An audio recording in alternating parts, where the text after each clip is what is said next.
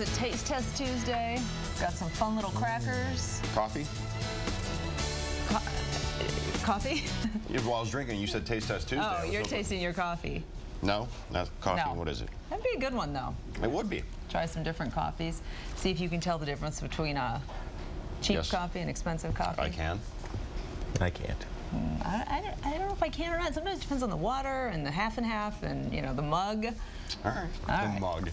Uh, happy Back to School Tuesday, everybody. I don't know if your house was crazy this morning. Last night it was, you know, we were trying to do hair because I wasn't going to be there this morning. So I was trying to do the girls' hair. Mm-hmm. They were trying to sleep like this, had the outfits out, everything. They had to sleep so their hair wouldn't mess up. Well, they, you know, they're Sounds like the beginning of. Friday. Remember that scene? Uh, yeah, so anyway, um, yeah, hopefully your day is getting off to a good start. And as we talk about back to school, here's a little advice for you, some friendly advice. Some things that the principal won't tell you but would like to tell you. What you talking about, Deena? Um, if you have a problem at school, you talk to the teacher first.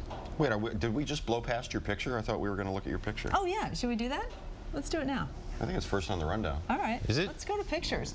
Old school pics.